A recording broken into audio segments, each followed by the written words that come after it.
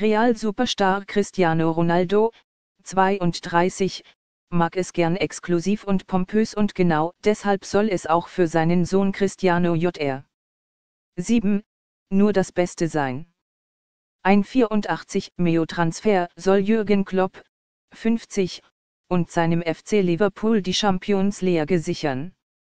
Manchester City und Trainer Pep Guardiola, 46, verpassen beim 0 zu 0 bei Crystal Palace den 19. Ligasieg in Folge und damit auch den Bayern-Rekord.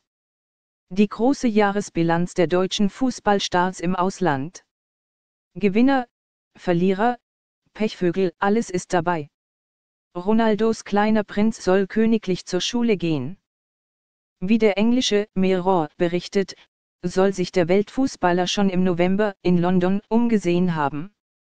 Royales Vorbild ist Prinz George, 4. Der Sohn von Prinz William, 35, und Herzog in Kate, 35, geht auf die Thomas Batterseer Schule. 560 Schüler bis 13 Jahre besuchen die Schule. Cristiano Jr. soll eine englische Ausbildung erhalten und Freunden gegenüber geäußert haben, wenn sie gut genug für William und Kate sind, dann sind sie auch gut genug für mich. Kostenpunkt, rund 20.000 Euro Schulgeld pro Jahr. Danach könnte es auf dem College in Eton weitergehen, das hat auch schon Prinz William besucht. Übrigens, Sportlich geht es für Ronaldo Donnerstag mit den Königlichen mit dem Copa Achtelfinal-Hinspiel in Numancia, 21 Uhr, weiter.